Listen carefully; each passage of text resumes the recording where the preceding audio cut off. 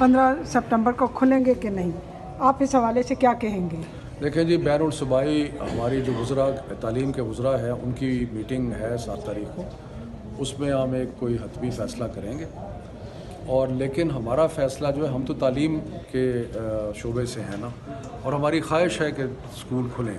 लेकिन हतमी फ़ैसला जो है, वो जो हेल्थ एडवाइज़री है, वजारत सेहत की तरफ़ से, उस पर हमें चलना पड़ेगा।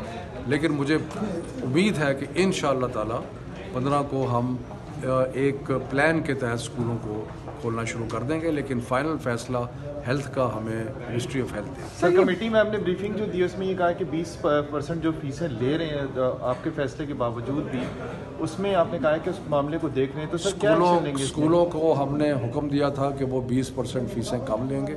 अगर किसी के पास कोई ऐसी मुसदा रसीद ऐसी मौजूद है कि किसी स्कूल ने फ़ीस ज़्यादा ली है तो वो पीरा कोई दरख्वास्त दे और उस पर कार्रवाई सर एक चीज़ और बता दें ये आपने अभी आ, कहा है कि चूँकि अभी फैसला होना है हेल्थ कमेटी के हेल्थ मिनिस्ट्री के मशावरत के बाद स्कूलों का क्या तरीका कार होगा? बच्चे किस तरह एक वक्त में सारे क्लासेस में आएँगे? क्योंकि रश तो बहुत होता है बच्चों का। इसीलिए मैंने अर्ज़ किया ना कि हमारा प्रोग्राम ये है कि जब इन हम खोलेंगे तो उसको स्टैगर्ड तरीके से खोलेंगे यानी कि एक दिन पहली, तीसरी, पाँचवीं, आठ, सातवीं आ जाए, दूसरे दिन दो, दूसरी चौथवीं छवीं इस तरह आए, ताकि एक दफ़ा रश जो है, वो बहुत ज़्यादा ना पड़े। लेकिन ये पूरे एस जो हैं, ये उनके साथ ही स्कूल खुले। सर, इस हुकूमत ने पहली दफ़ा ये इकदाम उठाया, सर, तारीखी के जो तालीमी निसाब है, वो एक होगा। सर कैम्ब्रिज को किस तरह से हैंडल करेंगे आप?